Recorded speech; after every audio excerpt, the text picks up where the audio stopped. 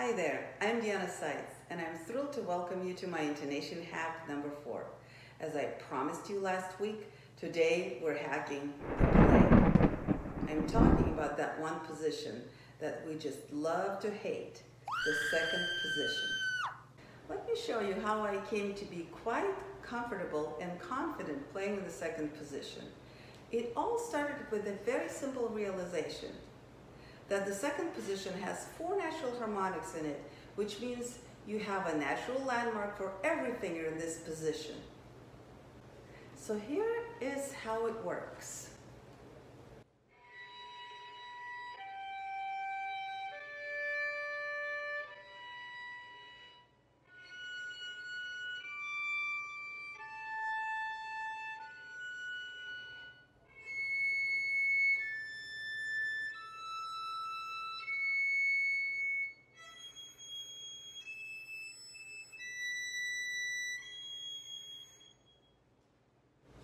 Are you having fun yet?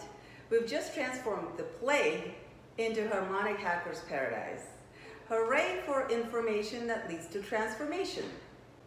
Now go home and hack the heebie-jeebies out of that second position. And here is how you can make the most out of this hack. Yes, we're back to Schradieck. This time it's exercise number eight from the same book we used in the very first two intonation hacks. In order to adapt this wonderful second position exercise to our hacking needs, we will have to completely ignore the key signature. Sorry, Mr. Schradieck. As you're following the finger patterns in this wonderful exercise, forget about the flats and follow this simple key signature diagram. When on G and D strings, use G major key signature. On A and E strings, A major key signature, and you're good to go. For violists, when playing on C and G strings, play in C major, and on D and A strings, use D major key signature. And that's it.